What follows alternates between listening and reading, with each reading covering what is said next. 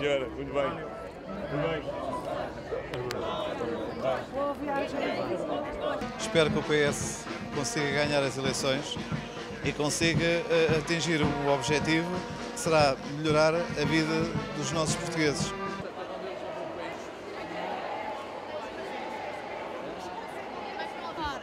Vá, beijinho.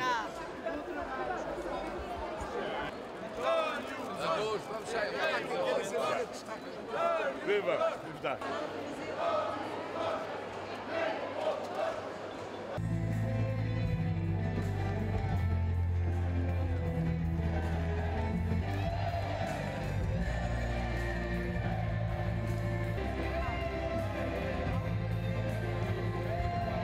Temos muito para fazer e por isso precisamos de uma vitória que seja clara, uma vitória que seja inequívoca, uma vitória que nos dê maioria para que nós não fiquemos dependentes da direita para cumprir a mudança que os portugueses querem que se faça em Portugal.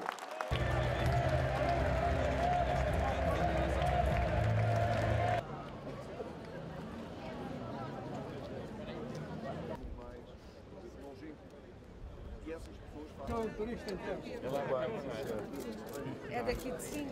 Ah, também tirei, não penso que eu não tiro, olha, estás a ver? Já fugiu.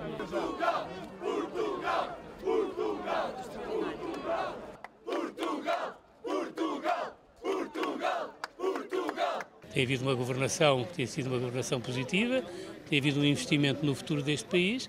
Portanto, a minha expectativa é uma boa vitória de- desta coligação.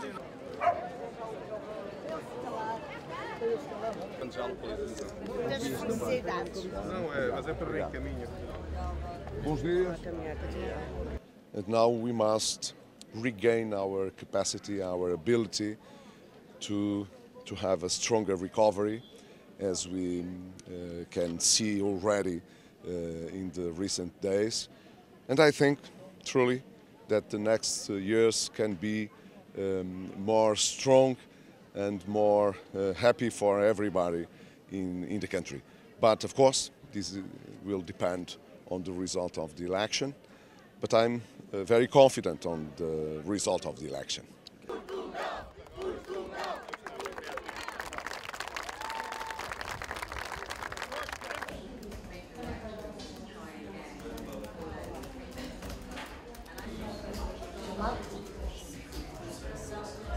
At stake at this election, there are mostly two things. First, if the program of uh, these last four years, a program of after the intervention of the Troika, is going to be punished by the, the, the in the in the pools or not.